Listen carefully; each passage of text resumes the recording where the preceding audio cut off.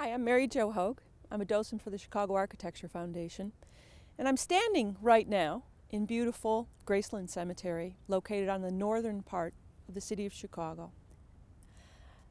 And one of the questions that I've often gotten, especially concerning this particular cemetery with all of its beautiful monuments, is um, is it possible that the architect Louis Sullivan designed something other than buildings in downtown Chicago or in other cities? And my answer is yes.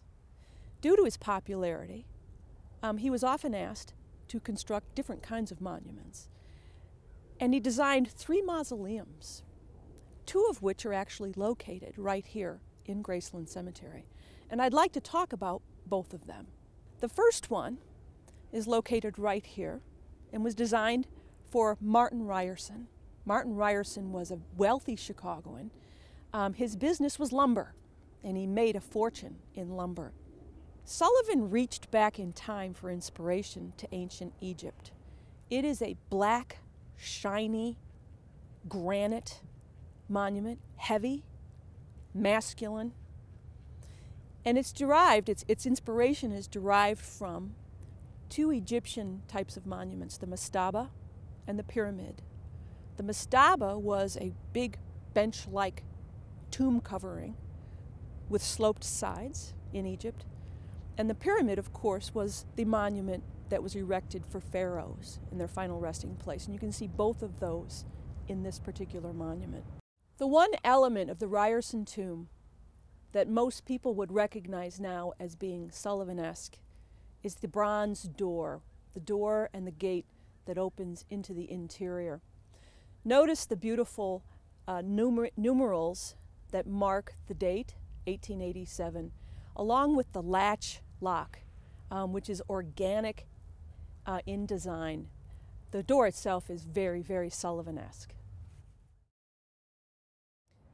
The tomb that you see behind me, the mausoleum, was also designed by Louis Sullivan only three years after he designed the Ryerson Monument. It could not be more different. It's a different material. When Eliza Getty died, her husband Henry, who had been Martin Ryerson's partner in the lumber business, asked Louis Sullivan to design a mausoleum for him and for his wife.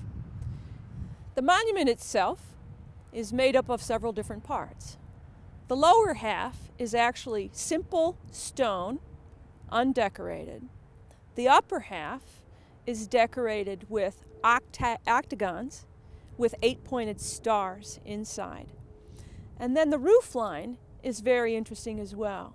Um, very simple, but nicely, organically decorated.